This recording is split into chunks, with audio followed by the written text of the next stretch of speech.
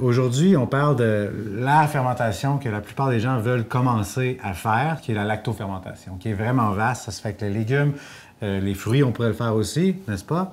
Mais c'est surtout les légumes, les légumes, les racines. En fait, tout se lactofermente d'une façon. C'est quoi la lactofermentation, ça? Bien, ce qui est intéressant avec la lactofermentation, c'est que euh, le- les bactéries sont déjà sur la plupart des légumes qu'on va utiliser. On a juste à rajouter du sel. C'est des bonnes bactéries. en fait, s'il y a des mauvaises bactéries, on va rajouter du sel, euh, soit en saumure, soit directement sur le légume, qui va faire en sorte que c'est seulement les lactobactéries qui vont se développer. Ça, puis le monde, allé faire le marché. Souvent, quand on fait le marché, on achète trop de fruits et légumes.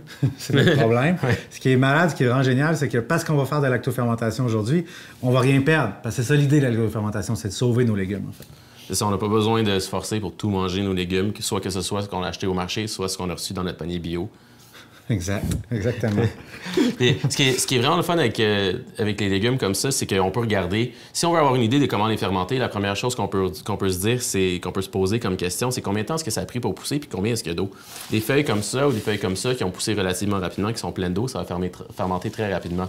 On va parler style kimchi, 3 à 5 jours. Tandis a des choses comme du chou euh, ou des racines comme ça, c'est le genre de choses qui est un peu plus solide, qui a un peu moins d'eau, puis qui va prendre beaucoup plus longtemps à fermenter, plus comme 3 semaines, un ça a mois. pris plus de temps pousser. Fait que c'est ça qui est cool, c'est qu'il y a il y a une espèce de parallèle entre le temps que ça a poussé puis le temps que ça va prendre à fermenter. Exactement. Très cool. C'est ça. OK. Fait que là, on a dissous le sel dans l'eau. Fait que là, il reste juste à mettre la saumure sur les légumes. Ça, c'est la façon la plus simple. C'est moins compliqué parce qu'on n'a même pas besoin de couper les légumes. là. On a juste à enlever les, les queues de pois puis limite mettre les tomates directement.